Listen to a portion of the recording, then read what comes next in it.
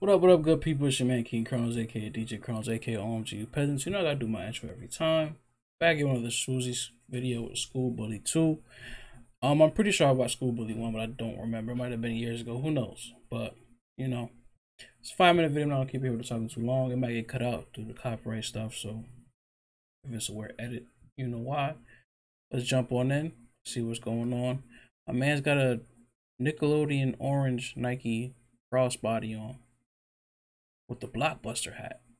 And I'm feeling that. Blockbuster trucker hat. I'm feeling that. Feel me? I got my truck on right now. Atlanta, feel me?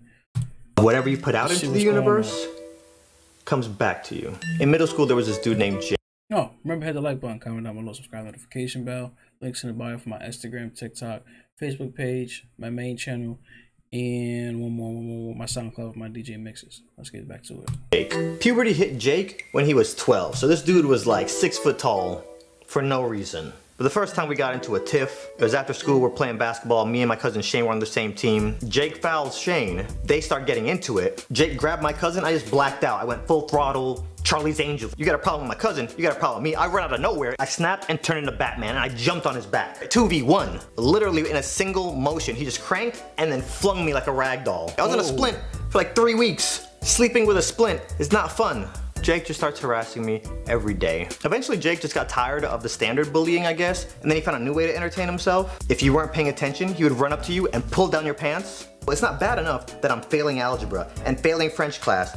Imagine how traumatic it is psychologically coming to school, looking over your back in between every single class, wondering if there's somebody to pull your pants down and you're gonna be exposed and now I gotta start my OnlyFans account. I say this kind of jokingly, but not jokingly because it was very stressful when all this was happening. And then one day, everything changed because we got a new kid, Sterling. I see Jake just looking at Sterling like, fresh meat. First day Sterling gets there, as soon as school ends, Jake goes over to him and pushes him. Sterling pops Jake in the mouth. You know, they say if you ever go to jail, you gotta start a fight on the first day. Bad.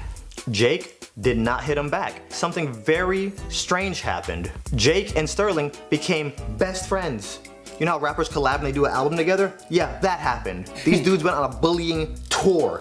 They got so tired of bullying people in our class, they started bullying like high schoolers. Granted, I saw Sterling get his butt kicked by the sophomore and that was one of the most satisfying things I had ever seen in my life up to that point. But these dudes just wanted to fight everybody. I think it was like eighth grade, Jake was having a birthday party and he came to school and he was telling everybody like, hey guys, come to my birthday party and nobody wanted to come. Dude, when you're harassing people, people don't want to be around you like that. I think he put two and two together so he started acting really nice. For like a week straight, he was nice to everybody and then some people were like, okay.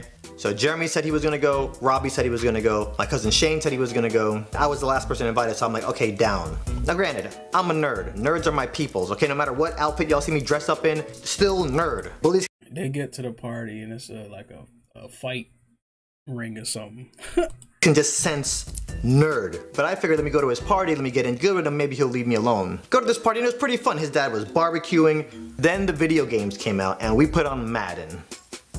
Not a good idea. I knew this play HB toss left with Cincinnati, you couldn't stop it. So no matter how bad of a predicament, I could be fourth and 90. I was, you knew what was coming. I beat Robbie, I beat Jeremy, I beat Shane, and then it's Jake's turn. I don't just start beating him. I run HB toss left every play. And I was talking junk the entire time. I made it a point to beat him worse than anybody else at the sleepover. I was thinking this dude is gonna go back to harassing me anyway, so I might as well just get my revenge right now. For 15 minutes, I gave him a taste of what he'd been doing to me for the last three years. So then around midnight, we're all in his room and he says, let's all see who can stay up the longest. Whoever goes to sleep first is gonna get it. We're in his room, we're just talking. We're all there and we're talking, I'm just like, yeah, yeah, yeah, yeah, yeah. Next thing I know, I hear giggling.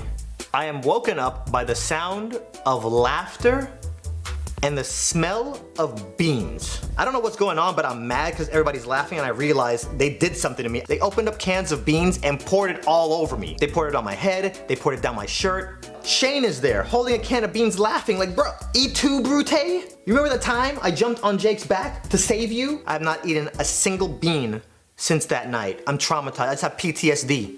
Monday comes, we go back to school, Jake goes right back to bullying everybody. This dude just made middle school a traumatic experience for every guy in our class. And once high school hit, Jake went off to a different school, I went off to a different school, never saw that dude again. So I tell you all that backstory to catch you up to now. Shane has a barbecue. We're out there talking, we're catching up. You remember Jake? You remember that time I saved you? I jumped on him like I was a Darkwing Duck, and then you stabbed me in the back by pouring beans all over me at his party? And then Shane goes, oh, did you hear what happened to him? No. On prom night, he went out partying, got super drunk, got in his car, drove home, and hit a construction worker and then kept driving. The cops went and looked at the cameras and traced them back to his house, showed up and arrested him. And the judge stacked all that. Driving under the influence, speeding in a construction zone, hitting a construction worker, fleeing the scene of a crime. They gave him life in jail. He has not seen the light of day since the day after prom. Obviously, I was not happy hearing this news, but this is real life, no respawns. I'm gonna get on here and share this story because hopefully somebody can learn something from it. But I don't want to hear any more stories like this. We're all human, we're all gonna make mistakes, but they say what you put out in the universe comes back to you. That's crazy. And Swoozie like 40. nah, I'm fucking with you. He probably in his 30s. I'll be 30 by the end of next year. Um Him. I graduated high school. Swoozie's deep into his 30s.